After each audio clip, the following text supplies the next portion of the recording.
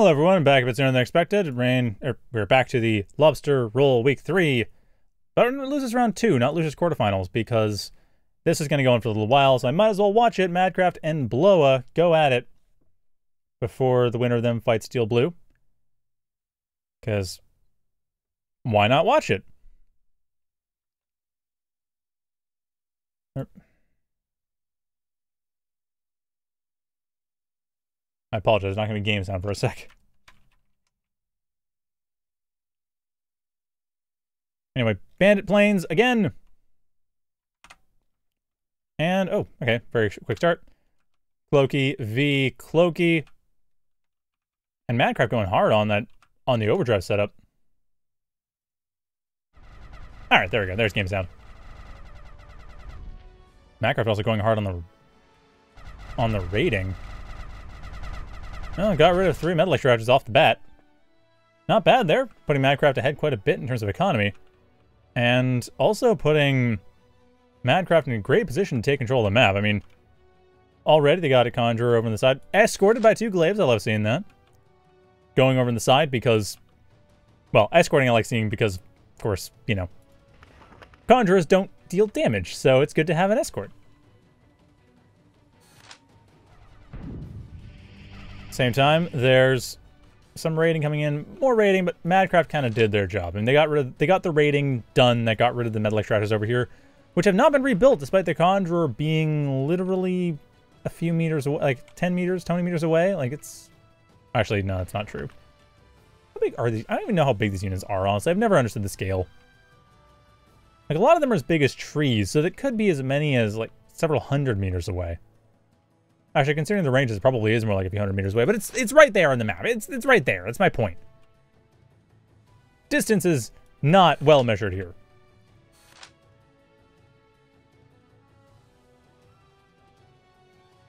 I mean, I guess I could measure in Elmos, but screw it. I know what I mean. That a right here could have been rebuilding the entire time, so Madcraft's raiding has been way more effective than I'm sure they even hoped. Granted, now Madcraft has to be a little careful. They are... They're going to deal with having some units come in here from Bloa. Trying to figure out whether or not... Uh, it looks like Madcraft is trying to go for an assault along the main base. Or not main base, on the middle, along the main line. Bloa, on the other hand, going for a counter raid. Two Lotuses and three Glaives is not going to be enough to deal with a dozen Glaives coming at them. Well, okay, eight Glaives might be fine. Well, three lotuses. That could work. It's a bit of a tight, tight call, but at the same time, it is a tight fit. And it looks like Bloa decides that they are not going to go for... They don't want to throw their glaives away for nothing. Smart choice, but at the same time, it means Madcraft will... And, I mean, it's a smart choice. It wouldn't have worked either way. Madcraft will still be able to build behind that. While at the same time, there's really this discrepancy in terms of territory control that's getting clean. It's getting tightened up more and more. Madcraft had been expanding a bit, but oh, did they lose? No, they're conjures right here. No longer being escorted, but right here. A little distracted. I would, I could almost see having a second conjurer there to help build, and indeed another one is coming along to help build in the back lines. Unfortunately, it is not escorted by glaives. That was a really good thing to do, Madcraft. We think it's good to keep doing that. That's you never know whether or not units are going to be getting in the way. Having glaives in the middle of likely expansion points is just a smart tactic that a lot of players will do, and putting escorts with your workers is the way to counter that, but of course it requires that you do that, so it makes the front line less less well defended, and that's still it's still useful either way, but the point is that it's better to have a slightly less defended front line than to have a dead constructor. So these, this glaive could be close enough to not be a problem. At the same time, though, Madcraft is assaulting the main base. Ooh, the construct... Oh, the Conjurer goes by the glaive and does spot the glaive. So at the very least, there are some glaives close enough. More importantly, though, the front line is getting wrecked Bloa is going to have to jump away from with their commander. This set of Ravagers, sorry, the Reavers now, not Ravagers. Yeah. Set of Reavers coming in here is going to be absolutely devastating if that commander lets them get in range. Knight trying to come in to help out. Ooh, does start getting some hits. And Bloa wisely jumps away, but the center has been lost. Madcraft able to just, well, stop that part of the economic advantage, but there's still actually a stronger economy on Bloa's end for static economy than there is for Madcraft. And having lost their Conjurer, Madcraft has no real way of rebuilding that. Again, Madcraft have the right idea in the first place, but this is still kind of risky. Fortunately, though, Madcraft was able to micro out with their glaives. Beating up low is allowing them to secure the northeast once again, and yet another Conjurer coming in here to finish things off. But more importantly, Madcraft's commander up front, securing all this reclaim, has a caretaker right there, both for repair and for reclaim. So Madcraft will be able to make up for any economic losses, or any economic deficits between them and Bloa. Same time of night, went a little bit too far, providing some reclaim metal donation. And yeah, overall, it's just kind of... It's really hard to say that a whole lot's going right. It feels like there's a lot of things that are just missing, and a lot of rebuilds that aren't happening, a lot of construction that is happening, but then is there another Conjurer here to help reclaim? No. Everything's going into the Stinger. And Madcraft just doesn't have enough metal for all three. Like, they need to reclaim if they want that Stinger to be built a reasonable amount of time. And indeed, they're doing so. But then, well, here comes the here come the Reavers. Here comes the main assault force over to the eastern side of the map. Bloa does not want to let Madcraft have this, and it's worth noting Madcraft has not taken this area here. Neither has Bloa, mind you, but Bloa has taken the eastern equivalent. Hence Bloa's economic advantage. And Madcraft just starting to lose the attrition war as well. Although I can point out there that, yeah, Bloa's entire energy economy is contingent on this hill worth shield of wind generators. But sadly, Madcraft doesn't have a Sparrow or something to actually go and check it. So they can't stop that. They don't know that there is something to stop. Does Madcraft have radar? Yes, they have radar. But they haven't thought to build another radar tower to turn to a Sparrow to just double check their opponent's base. Because right now I don't think Madcraft is aware... No, they have no idea there's a wind generator farm over in the hill. So that's the thing. That, Madcraft, if they had an opportunity to deal with or to strike a blow against Bloa's economy, they absolutely could if they were scouting which players never do in this game. That's why sparrows exist.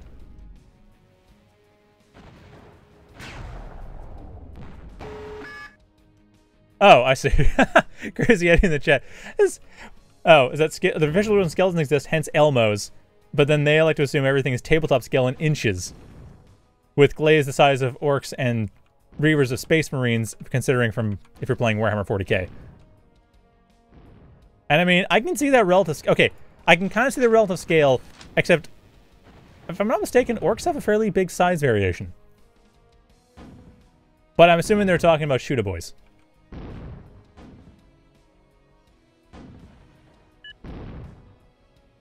More importantly, though, over the eastern side of the map, multiple Space Marines, I mean, Reavers, are coming over and tearing apart all these metal extractors, bullying out Madcraft's attempts to expand and honestly, bullying out Madcraft's attempts to get their economy even.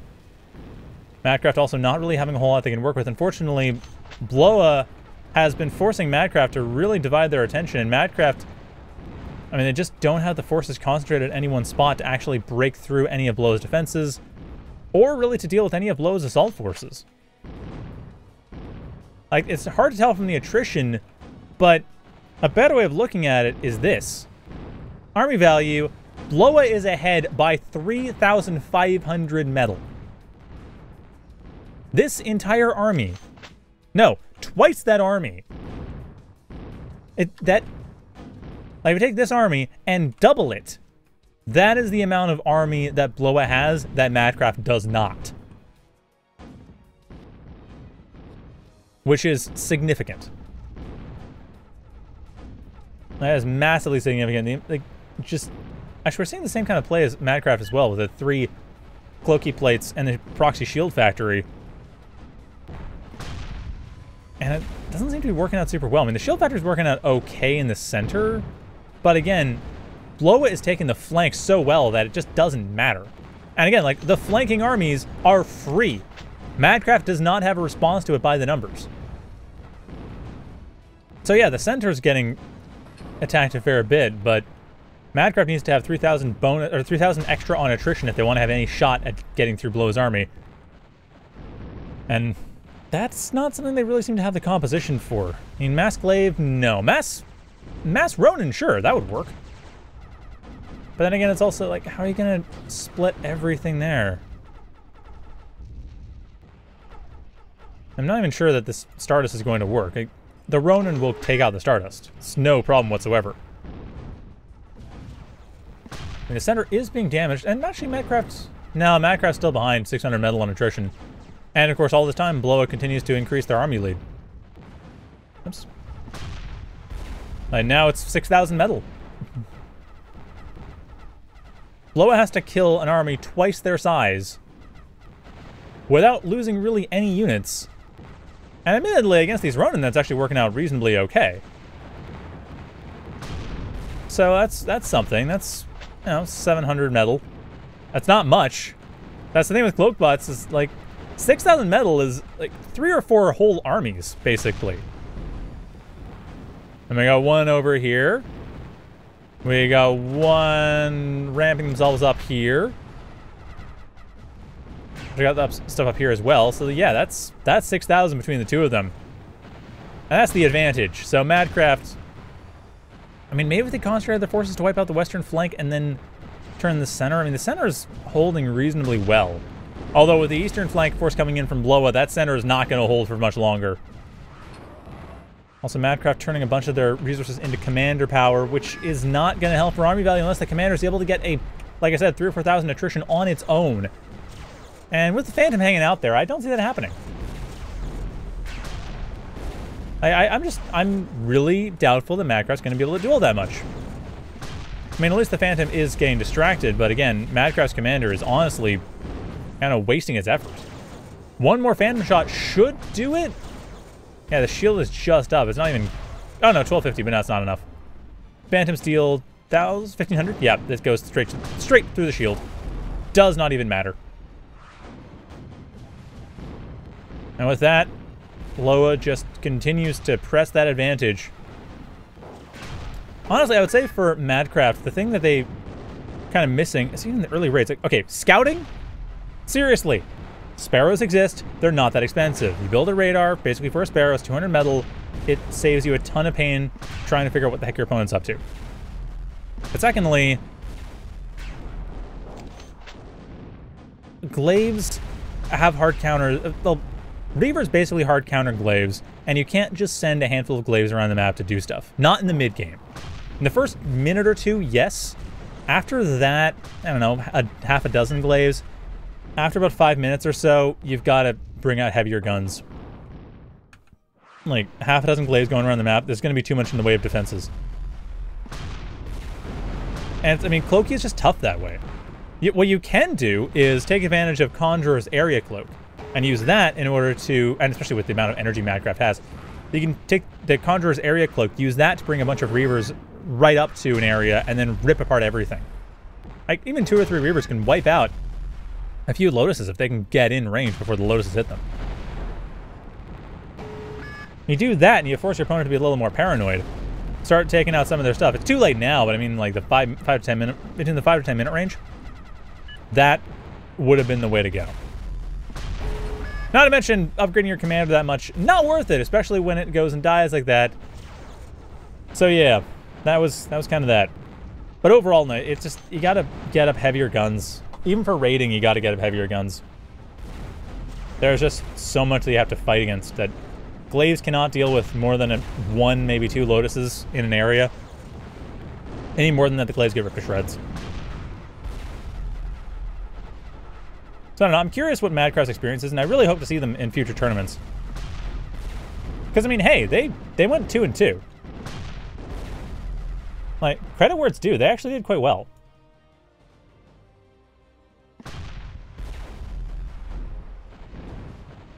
Like they beat Jim they beat Jimich 3D, they beat RTW Fruity. They lost to Stewart and Bloa. That's that's a good performance. That's that is a strong performance. I really hope to see Madcraft in future. I just think that there's there's stuff they can work on as far as understanding the way that the flow of the game goes and the progress of the factory. With Cloakbot, it's really tricky because you kind of got to get into Knights and Phantoms, or you got to get into Area Cloak, like Area Cloak into weird cloak pushes, which are hard to do in a map this size, to be honest, but they might work. I mean, they're hard to defending against in a map this size, too. But yeah, you need a lot of scouting as well. Or you need to factory switch. Like, Cloaky on its own, its late game is tricky. It's built around, like, as in, it's built around tricks. It's built around being tricksy and making your opponent not entirely sure what they need to do to fight against you. Now, I get the shield switch coming out later, because that is a much more late game-oriented factory where you just ball up and go. But it, that wasn't transitioned into until a fair bit later Whereas the cloak bots, no, that's something you can, you can do late game with cloak bots. You just have to. It just requires a lot more cleverness than just pushing units in, or a lot more cleverness in the late game than it does in the early game. That's really what it comes down to. And that that can be tricky to get up to. That can be tricky to get used to as an idea about how clever you have to be. But yeah, that is at least all I can say as far as advice. I mean, hopefully Madcraft's able to practice and figure out other holes in their play that I might be missing, and also, you know, work on transitioning into the mid to late game. And I expect we'll be seeing some better performance later on. Oh, wow. Bloa is just hanging out with 2,000 metal worth of units.